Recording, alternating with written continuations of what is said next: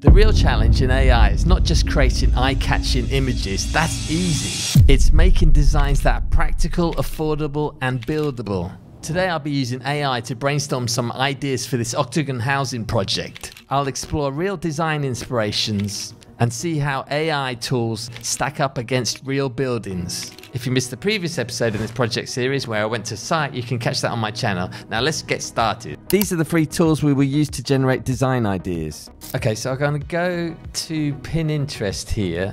So, right, just type in octagon shaped house, two bedroom, two floors. Let's try that. Okay, so I've got plans and images here. See, these are all real buildings, you see.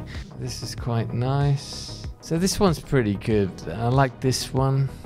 It's got two bedrooms, got a balcony upstairs, which is I which I want. It's got kitchen and bedrooms, but I, want bedrooms upstairs and kitchen and living room downstairs. It's going to be difficult to find something like that. Circular one there's quite good.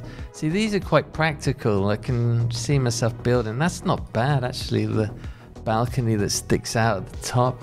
I was thinking of using corrugated steel as well, so that's a good idea for cladding. So the good thing about Pinterest, you can zoom in on that and it will find more. Now this is nice. I like this one. Doesn't look very octagon shaped, looks circular, but that's one of the best ones I've seen and I've been looking for a few days. So I can look at some plans here as well. That's a good idea for a plan. It's got some some rooms are open on ground floor. I could have a living room there. Yeah, so it's difficult to find a plan here. Just there's no octagon houses I can find with three bedrooms upstairs. This is so that's that's one with three bedrooms upstairs and a stair thing that people don't understand is that you can't just copy and paste. Nearly every type of house is slightly different. This is where the design starts. You just get ideas. It's basically copying stuff, really. This is the reality of it. You find something you like and you just copy it. Anyone tells you differently is lying. I found three images I like there. I'll probably combine these three for inspiration. I'll show the clients if they like them as well. But now let's go on to AI. First of all, I'm going to use Midjourney to see what I got. If you're not familiar with Midjourney, it's a tool to create images from text prompts, enabling searchers to quickly, creatively design visual content. Start off, type in slash image, then a prompt should come up. Click that, then type something for a search. It's a bit weird. Here's a prompt I use to generate an image. Now it's creating something. That's not that's not really um octagon, is it? I don't know why. Let's try again. Let's put octagon shaped house. I don't know why it's not done an octagon house. No, the interior is octagon shaped, but exterior still not octagon shaped. Two stories though. This is quite. This is actually taking quite a bit of time actually, uh, compared to the other one. They're all there straight away. Uh, so I didn't put the location this time. This is quite interesting. It looks modern, definitely modern and different, more outrageous than the other ones, like the real ones. But like some of these are not really that practical to build. I mean, look at the one at the top left. This that doesn't even look possible to build. Like even if it was, it'd be very expensive. I don't know where how you would build that. Like where what's holding all this up? This I don't see columns in here. That's supporting that. That's maybe supporting that it's it's basically working out how that's going to be built. I don't know if that's because these is this is not a real building. I don't know how you would get that built. It's figuring out how that would work, especially in Tanzania. It's difficult. That's not bad actually. It's quite simple. There's no balcony there though, but you could add one. That's similar to the ones I saw before. I quite like that one. If I do V1, I think that gives you more versions of that that image. So this will be quite interesting. Oh, they're all similar, though, aren't they? This one was quite nice, um, and I showed the client, she quite liked it. And she even liked the stairs going around the side, so that's the best one I found. After searching for a long time, these are the best three. Okay, let's try and find a plan. Like, I'll just imagine a plan of an octagon shaped house. I am not convinced it'll do any plan because what I've seen plans here, they're a bit blurry and a bit. So this is some plans here. So God knows what. I don't know. uh, look not that great, are they? I'm going to go on to ChatGPT now. So I've been using this and it's pretty bloody good. Um, let's try ChatGPT. So this is the new version of ChatGPT. ChatGPT is an AI tool to generate text, but the new version can generate images. Here's a prompt I use to generate an image.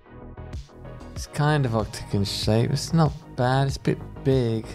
Let me put small house, octagon shaped, small house, house in Dar es Salaam.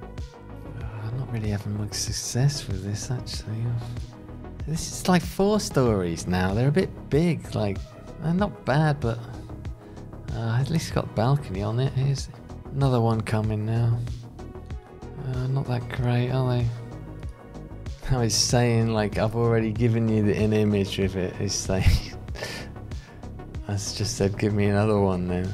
I tried this the other day and it's a lot better. Like I don't know. It depends what day you're using it or something. Ah, this is nice. I like the top floor looks nice. The roof.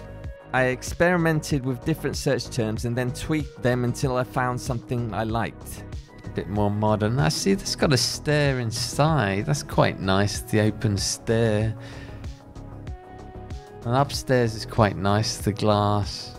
That's not bad if I can take off the middle floor.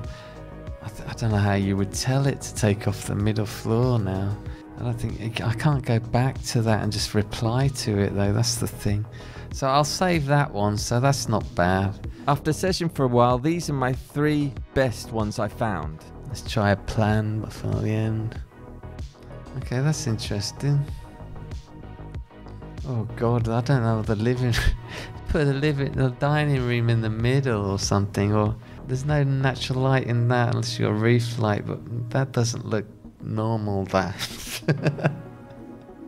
so the plans are all, uh, what I've seen with AI. The the plans are just they're all like that. They're just it's just like inspirational plans. It's nonsense, basically. Nonsense. I've got a few, I think, for practicality, the original ones were good, but like, for inspiration, then AI is good for that. You can get a lot of ideas, I think. So I think what it is is it gets your imagination going. It gives you a lot of ideas, and it's basically looking at student projects. Some of them are not they're not built, so it gives you inspiration and design ideas, and you just take those bits and use those. So I think at the moment. I, that's what I've been using AI for. It's just basically around this design stage, just to come up with ideas, really, and help you, like I did, really save a few, and then combine those ideas and maybe use those as inspiration to design something. I'll show them to the client as well, see what she likes, what she doesn't like. I don't think she'll like the crazy ones very much, but I'll at least show those ones. So if you want to see the next video when I actually start designing this thing, I'll put that here when it's up. And the previous video when I went to site for this project, you see the location, I'll put that here and I'll see you over there.